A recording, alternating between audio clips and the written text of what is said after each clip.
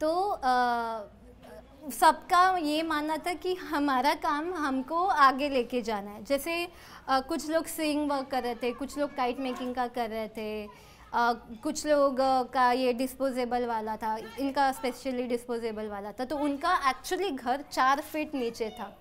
तो we have to ऐसा झुक के नीचे गो डाउन और वहाँ पे इशू ये था कि आ, क्योंकि वो मशीन जो है वो हैवी मशीन है इलेक्ट्रिकल सेंस में उसमें अर्दिंग का बारिश में बहुत ज़्यादा प्रॉब्लम होता था कि वो जब लेडी काम करते थे तो उनको शॉक्स भी लग जाते थे प्लस वेंटिलेशन दब गया था। घर नीचे होने की वजह से पूरा विंडो पैक है आपका तो कहाँ काम करोगे? पानी ऊपर से रिसाव हो रहा है नीचे से पानी ऊपर आ रहा है गटर का आ, पानी पीछे आ रहा है।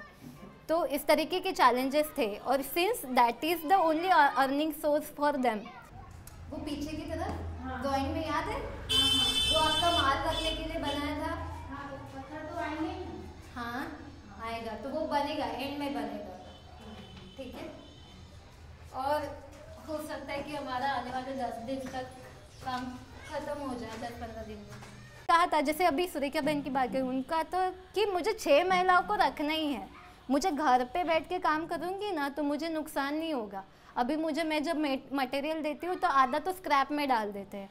उससे मुझे बड़ा नुकसान होता है। इससे अच्छा है कि मेरे प्रेजेंस में, मेरे लीडरशिप के अंदर में वो चीज़ें होगी तो सही ढंग से होगी। उनका ये कहना था। तो दैट्स हाउ आई मतलब मैंने उनका रिक्वायरमेंट सुना कि छः अच्छा छः महिलाओं को आपको इकट्ठा करना है तो छः लोगों की बैठने की जगह होनी चाहिए।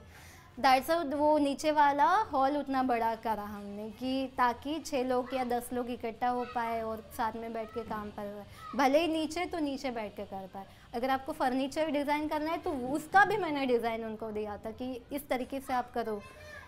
फोल्डेबल फर्नीचर बनाओ ताकि आप रात में फिर आपके लिए वो स्पेस ओपन हो जाएगी और वो लिविंग स्पेस में कन्वर्ट हो जाएगी।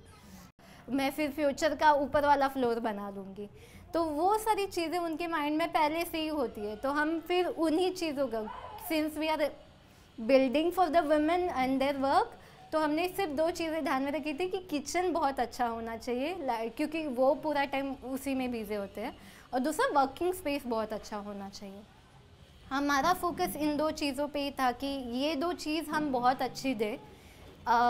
तो उसमें हाँ उनका टाइम बर्बाद नहीं होगा, वो फिर उसमें ज़्यादा ये नहीं करेंगे।